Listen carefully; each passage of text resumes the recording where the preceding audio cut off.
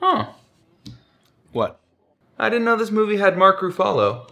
Mark Ruffalo? Yeah, yeah, him. Yeah, he's the lead. But I thought Keira Knightley was the lead. Have you never heard their names said out loud before? What are you talking about? It's Keira Knightley. Yeah, yeah, her. Are you trying to be funny? What? No, no, I'm I'm not a funny person. Not like Jetta Pato. Okay.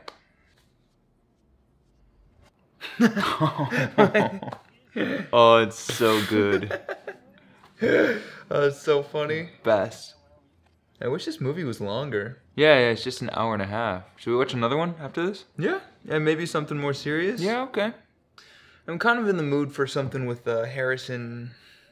Uh, oh, what's his last name? Board? Right, the guy from Indiana Jones.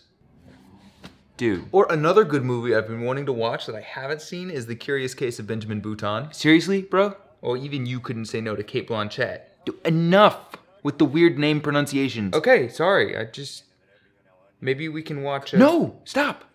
I'm gonna pick the movie. Just stop. Okay, fine. We'll watch Joker. Nice. It's a good movie. Thanks. You know, I think that movie has one of the best performances of our decade, actually. Dude. And you know I'm not talking about Robert De Niro. Dude. I'm talking about walking. Do not say it. Phoenix.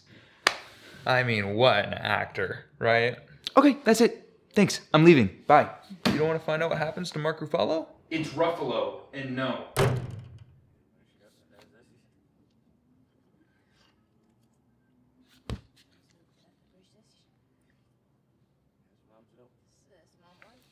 Hey man, I just got decided to leave. You want to come over?